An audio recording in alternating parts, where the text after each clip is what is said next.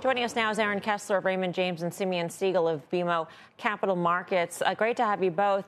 Aaron, I'll start off with you. I mean, if you really wanted to have a clean break and own up to things, you would think that John Foley would be out of a job right now. And I understand the, the ownership stake involved here.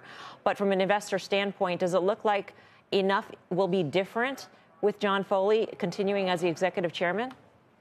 Yeah, I mean, it's hard to say how much of an operating role he's going to have going forward here. I mean, we've seen that a lot with uh, CEOs move more to an executive type of chairman role. Um, and so I think, but I, they did announce a few things on the call that were more positive in terms of some of the expense efficiencies, uh, especially on the logistics side.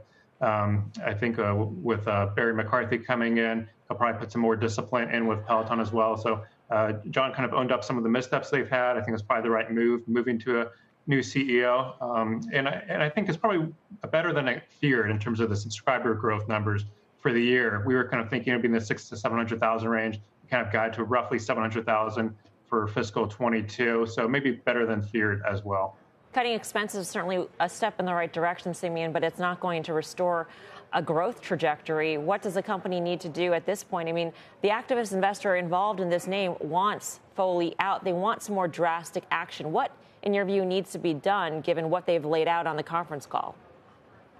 Yeah, so listen, I think Aaron brings up a really good point about the not better than feared. I think the question we have to ask is that a good thing or a bad thing, though? So if you're trying to kitchen sink, giving a number that's better than feared sort of keeps you a little bit on the fence. And I think that's what we're dealing with now. I think we were talking about just yesterday this idea of you have to make a clean break, you need to create a reset, and then you can start building back up. And if instead what you're given is sort of a version of retrenchment, but then on the conference call talking about we are going to be back to growth over the long term, you're sending mixed messages that might help the stock today, but probably creates questions for the long term. And I think that's where we are right now. So I think to your point, it's you're not missing the fact that it's executive chairman, could have been non-executive chairman, could have been any number of things, and that's going to be part of this conversation. Anyone walking off of the call today needs to say what actually did just change.